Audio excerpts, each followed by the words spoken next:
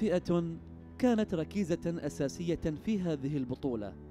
دوري خالد بن حمد سلط الضوء ومنذ انطلاقته على الشباب البحريني وفي هذه النسخة شمس الفتيات أشرقت لتكمل السلسلة المجتمعية التي يحتضنها فكر سموه.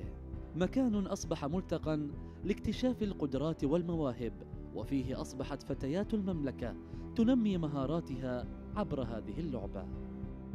أعتبرها فرصة كبيرة وفرصة أتاحت المجال للاعبات أنهم ينضوون مع الفرق الثانية ويشوفون قدراتهم ويشوفون كيف أدائهم أمام الجمهور.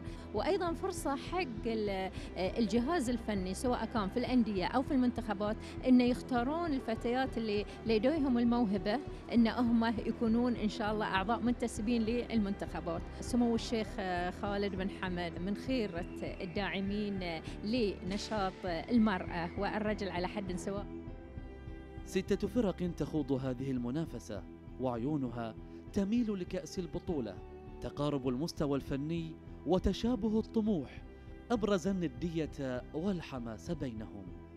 تعني لي وايد هذه البطولة ولأن يعني نفس ما نقول عطت فرصة حق البنات يعني عطتنا فرصة إحنا إن نطلع مواهبنا ونطلع اللي عندنا.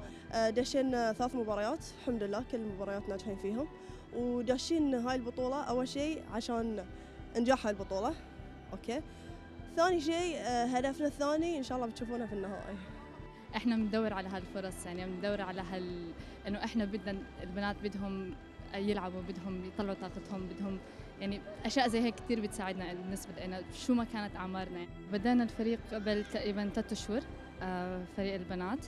وقال الكابتن فواز أنه بندخل بهالبطولة كتجربة. وما توقعنا صراحة إنه نوصل لنص النهائي والحمد لله. وصح إنه خسرنا بس يعني يعني بين في الملعب إحنا كيف تحسنا من أول ما بدينا. جوائز ومفاجآت أخرى. تنتظر الجماهير العاشقة لكرة القدم في ختام هذه المنافسة. الكل يتوقع آه، طبعا هذا النهائي. وإحنا طبعا أيضا نتوقع حضور جماهيري كبير في النهائي خاصه هناك طبعا جوائز رصدت للجماهير وتم توزيعها يعني قبل أيام وحتى أيضا راح تتوزع في يوم النهائي طبعا إحنا عارفين إن الجائزة الأولى راح تكون عبارة عن سيارة وأيضا جوائز أخرى ولكن طبعا إحنا يعني ناشد الجمهور بالحضور لمتابعة الإثارة والندية واللعب وأيضا الكسب بالنسبة للجوائز. ثلاثة نهائيات للمراكز الشبابية وذوي الإعاقة والفتيات. سيسدل الستار عنها مع موعد جديد حيث المتعة والإثارة. مبادرة رائدة من نوعها.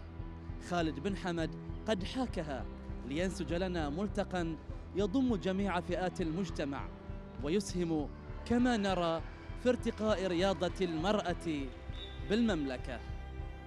لتلفزيون البحرين صالح يوسف.